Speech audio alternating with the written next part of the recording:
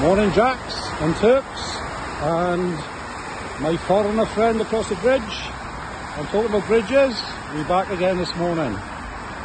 Hardcore reform supporters. We're out in the rain, so who cares?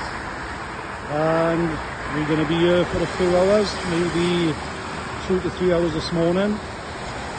We will have a little bit of a break then. And we're going to be coming back, hopefully, in bigger numbers uh, at four o'clock. So if anybody wants to get down here, um, send me a message and I'll give you the location details. I don't want to put it all over Facebook, you know why. But um, yeah, we're back again today. Yeah. There's an ambulance supporting us.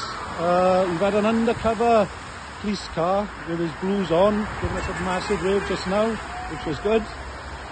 So a lot busier as well this morning. So it's still a bit of late rush hour traffic.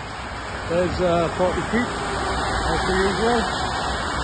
That's the way go. Uh, yeah, we're going to be, I, I'm going to leave now, I've got to do. So I'm going to leave the boys at it, we take the lands. And um, I'm going to be coming back on fourth all day.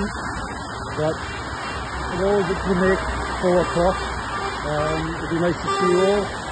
Alright, Moreland Transport, like reform. Yeah, another buzzing day today guys, if you can get down there please do. Um, I'm going to ask you to share this if you can, but I know I'm having issues with sharing on Facebook. But um, if you can just copy it or snapshot it or do anything you can to get the word out.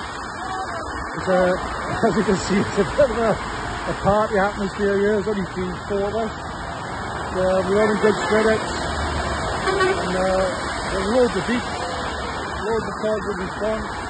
But this is the election eve, so we're even talking about coming back tomorrow. So let's not forget, voting is up to 10 o'clock tomorrow night. So if you can influence a few more people to vote for change, then we'll come back again tomorrow. So hopefully see some people later on. If you want to come now, the boys will be here till about 12 o'clock.